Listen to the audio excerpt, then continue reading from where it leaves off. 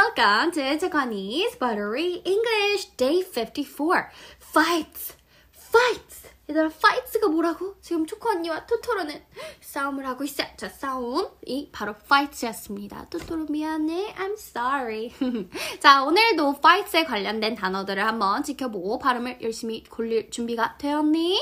자, 첫 번째 단어부터 한번 살펴보자, 얘들아. 잘못이야. 네 잘못이잖아. 너가 했잖아. 이렇게 할 때 그 잘못 있지요? 그 잘못은 영어로 바로 fault 되겠습니다. 해볼까? fault.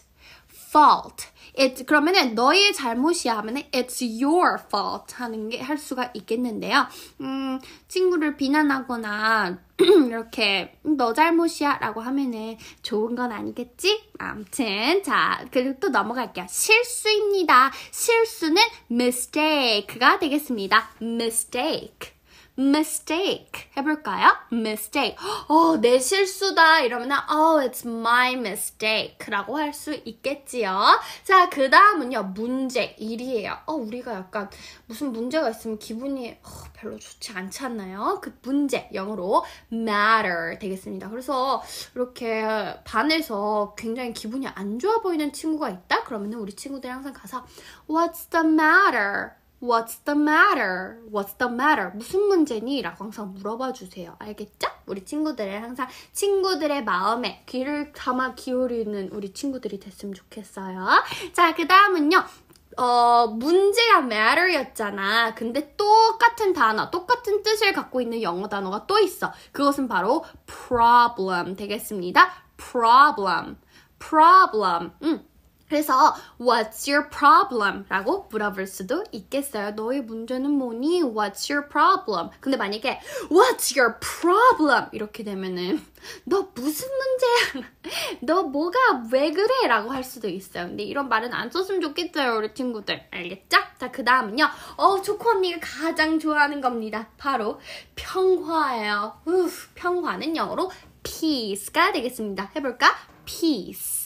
Peace. 오케이? 그래서 음, 항상 평화 가득하기를 peace be with you. 너에게 평화가 가득하기를 peace be with you. 라고 친구들한테 말해줄 수도 있겠죠? 평화를 축복해주는 거예요. peace be with you.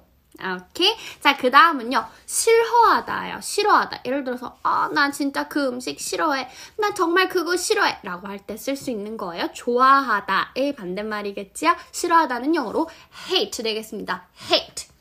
hate. 그래서 우리가 막 영화나 드라마 보면은, 아, I hate you. I hate this. 이런 말 많이 들어봤어요. 어, 나 너 싫어해. 나 너, 나 이거 싫어해. 라는 말이에요. hate. Hate. 근데 hate is not a good feelings, right? 좋은 감정은 아니에요. 그쵸? 자, 그 다음은요. 이해하다예요. 이해하다. 영어로 understand. understand. 자, 얘들아, 초코 언니가 옛날에 아래가 뭐였던지 기억나요? 책상 아래 할 때 그 아래가 영어로 under라고 배웠지요. under. 자, 그 under가 똑같이 쓰였어요. 이해하다 영어로 understand. 아래에 서서 아래에서 쓰다라는 거예요. stand는 스, 서다, 일어서다거든요. 그래서 아래에 서서 상대방을 이해한다는 거예요. 우리가 아래에서 그 상황을 지켜보고 그 사람을 본다는 거예요. 이해하다, 영어로 understand.